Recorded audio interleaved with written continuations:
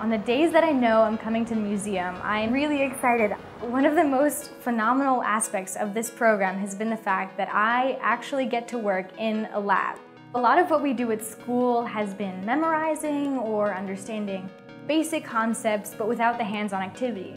Here at the museum, I put all of that previous knowledge into play, so I can apply like what I've learned about genetics or conservation biology. I'm participating in the Science Research and Mentoring Program here at the museum. I have been working in the ichthyology department which means I'm studying fish. More specifically, I have been studying five different families of catfish in Africa. What we've been trying to do is determine the genetic diversity of these catfish to determine how long ago they had diverged evolutionarily.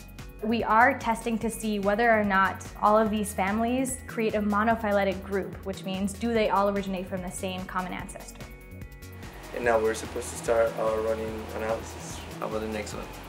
Oh, beautiful one, 99%. In the two to four hours a week that I spend here at the museum, I have been working with Dr. Jairo Arroyave. He shows us how to do a procedure, you know, we ask questions, we make sure that we know all of the information, and then eventually we do the analysis ourselves. Getting involved with this type of uh, experience at a young age, I think is, is wonderful. Very few teenagers have a, an opportunity like this one where they can get involved in research, have this hands-on experience. I, I started learning these things in grad school.